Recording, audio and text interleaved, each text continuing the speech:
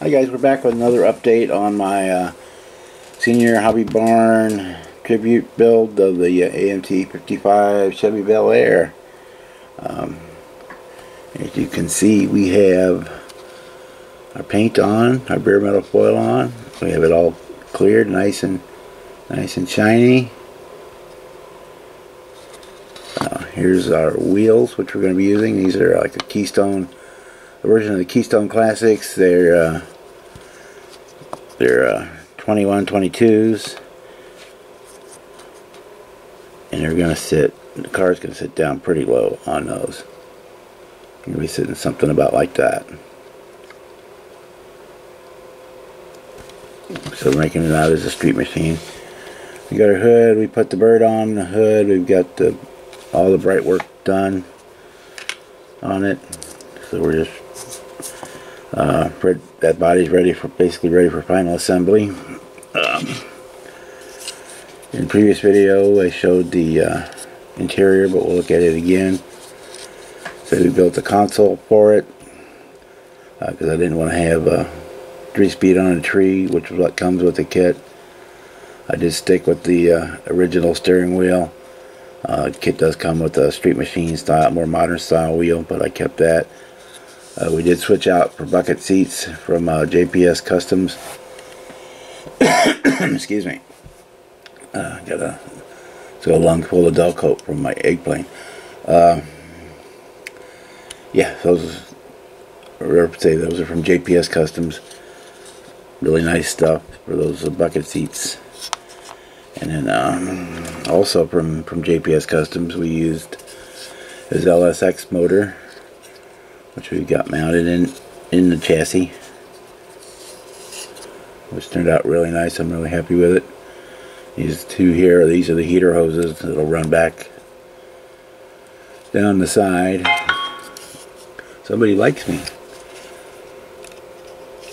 There we used uh, some brass tubing for for drive shaft and we used the uh,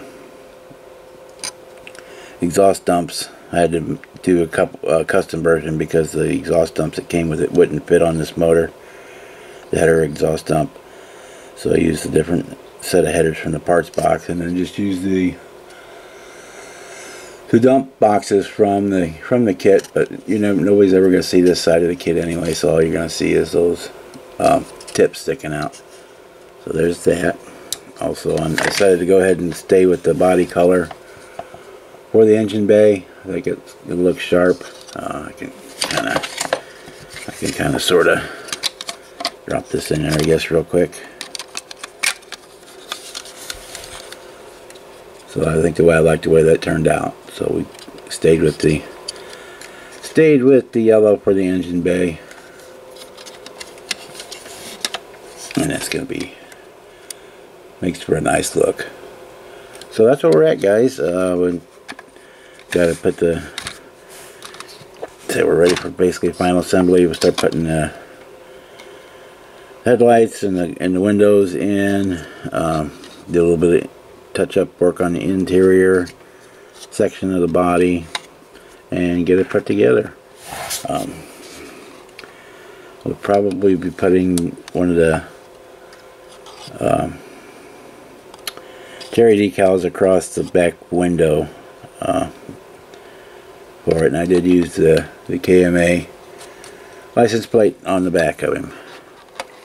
Uh, also I'm going to probably do another a part 2 of this and possibly even a part 3 uh, or even maybe a part 4 uh, so I want to think I'm going to build a, a trailer for this and then build a shop truck to pull it uh, using the Thacker Garage decals from the for the uh, for the Camaro, and eventually I'll probably do the Camaro as well.